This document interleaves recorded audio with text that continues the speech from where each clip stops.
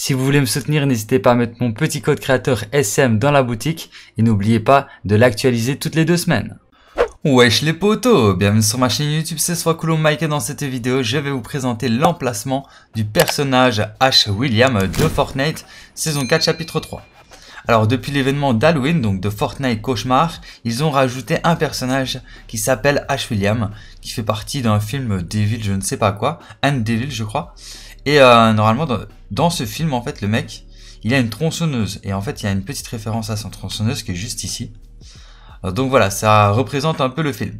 Alors le personnage peut vous euh, vendre un canon, un fusil à pompe à levier, des munitions et du, et du soin. Si vous avez besoin de soins, donc de PV, il vous vendra du soin.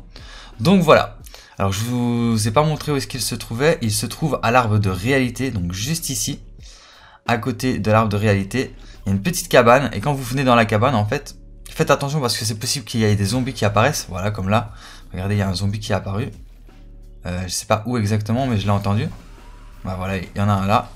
Mais quand vous arrivez dans cette zone, en fait, c'est une zone d'Halloween, donc... Euh, donc vous voyez bien que l'univers devient plus sombre. Donc regardez si je prends de la distance, hop.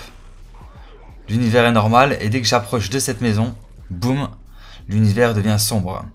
Donc voilà, je pense que je vous ai tout dit à propos de cette petite vidéo d'information. J'espère qu'elle vous aura plu et qu'elle vous aura été utile. Si c'est le cas, n'hésitez pas à liker, à partager et à vous abonner si ce n'est pas encore déjà fait.